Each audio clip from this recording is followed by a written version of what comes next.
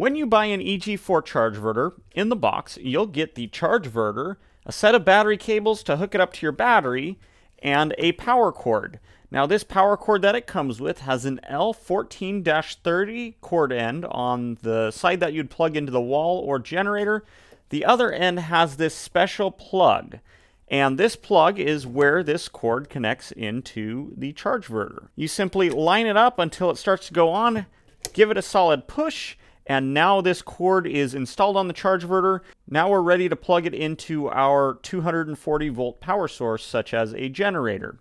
And that would look essentially just like this. I have the other end of a cord, and it twists in, locks, and now this is good to rock. Now this cord, by the way, can be easily removed by twisting the ring and pulling on the cord.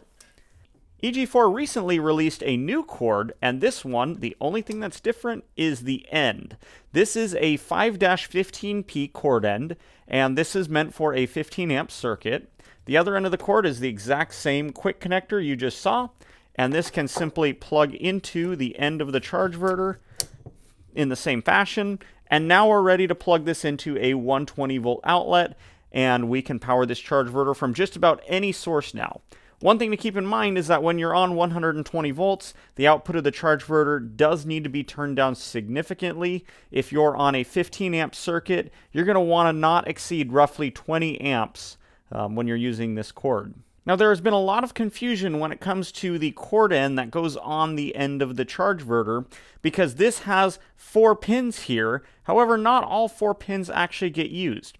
I already loosened up the two screws that clamp onto the cord, and now I can remove two screws on the face of the cord end, and that will get us inside. You can see that we have a blue, green, and a brown wire, and there's nothing in this fourth pin.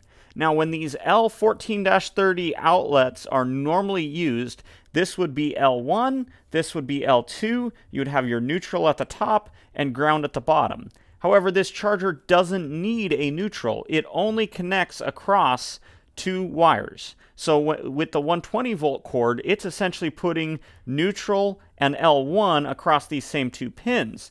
This is the reason there's been a lot of confusion because when uh, these plug-ins get made into adapters, a lot of people wire them the correct way, connect the neutral onto this top pin, but the charge chargeverter doesn't use it, so there's not actually a complete circuit. So if you were going to rewire this plug for 120, you would essentially have to feed neutral and L1 on the pins that would normally be L1 and L2. If that doesn't make much sense, there is a more detailed description in the manual, but obviously the visual in this case helps. Well, I hope that clears up any questions you may have regarding these AC input cords on the chargeverter. If it doesn't, feel free to leave them in the comments below. Otherwise, we'll see you guys on the next video. Thank you so much.